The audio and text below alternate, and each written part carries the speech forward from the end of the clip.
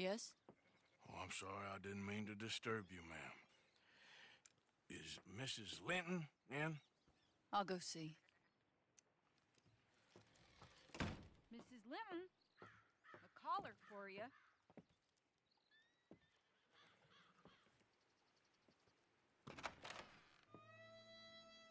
Hello, Arthur.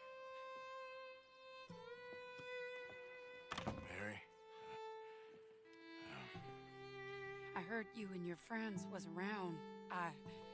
Okay. Where's, um... Where's what's his name? died.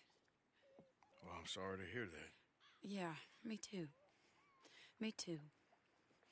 Happened a while ago. Pneumonia. Bad business. Sure. So, uh... Well, you, you've been... you've been made a widow and come here looking for me, is that it? No, ain't like that, Arthur. Okay. Listen, Arthur, I. I'm. My family. I need your help. You mean the family that always looked down on me? You want me to help? It's my little brother, Jamie. I always liked Jamie. At least compared to the rest of them.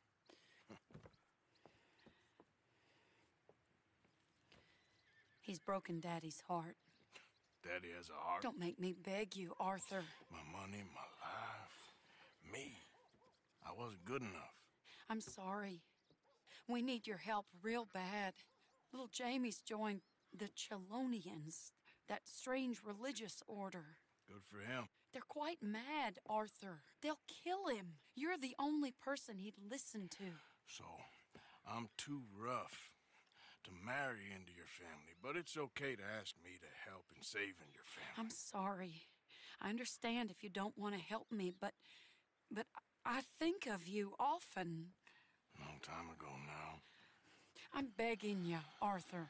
I say let Jamie live Jamie's life and not the nightmare that his daddy dreamed up for him. Jamie's so innocent, Arthur. Please, Arthur. Will you help me? Where is it? Somewhere out near Carmody Dell, I think. The rancher there said he'd seen him around the Cumberland Forest. I just want him back, Arthur. If you find him, bring him to me at the station. I'll see what I can do. I'll owe you. You already owe me.